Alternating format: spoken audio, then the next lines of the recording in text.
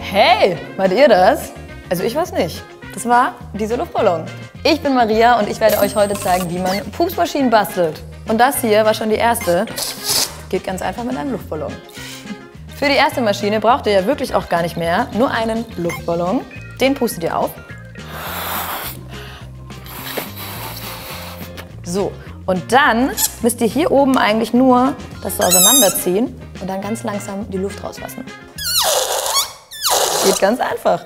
Unsere nächste Pustmaschine geht eigentlich auch total einfach. Ihr braucht nur ein paar mehr Sachen. Das erste, was ihr macht, ihr nehmt euch hier diesen Bügel und schneidet euch das untere Teil hier raus. Als erstes braucht ihr so eine Blechschere. Lasst euch da auf jeden Fall von einem Erwachsenen helfen. Das ist nämlich echt ein spitzer und scharfer Gegenstand. Ich werde zur Sicherheit äh, so eine Brille aufsetzen. Bin ich nämlich geschützt. So. Okay.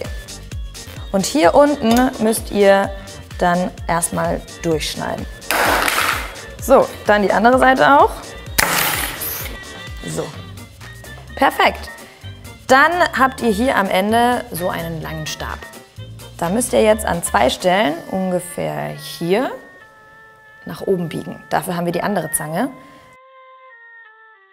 So, und dass dann hier ungefähr der gleiche Abstand ist, dann auch hier. So. Dann habt ihr hier eigentlich so eine U-Form.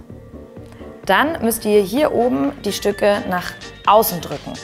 Das heißt, ihr packt es einfach hier und drückt einmal nach außen. Wenn ihr das dann fertig habt, dann sieht das so aus. Als nächstes braucht ihr so einen Schlüsselring und ein Gummiband. Das fädelt ihr dann einfach einmal hier so durch. So. Und genau das gleiche macht ihr auf der anderen Seite. Auch da hier das Gummiband durch den Ring und dann hier drüber fädeln und dann spannt ihr das quasi hier so dazwischen. So sieht das dann aus. So, und jetzt dreht ihr euren Ring. So. Und dann haltet ihr das erstmal fest und dann müsst ihr euch da draufsetzen. Moment. So. Und wenn ihr jetzt aufsteht, hört mal hin.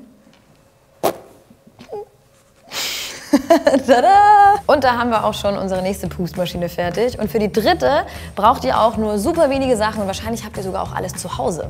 Als erstes nehmt ihr euch einen Bleistift und wickelt das Papier hier außen rum. Und dann klebt ihr das hier hier ran. Und dann fällt der Stift wahrscheinlich sowieso schon raus. Und jetzt müsst ihr hier oben einschneiden. Also hier einmal reinschneiden. Das macht ihr dann auf der anderen Seite auch.